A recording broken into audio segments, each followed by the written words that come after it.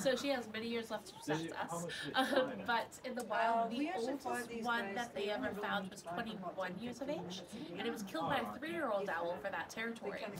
Uh, in a remote area, average uh,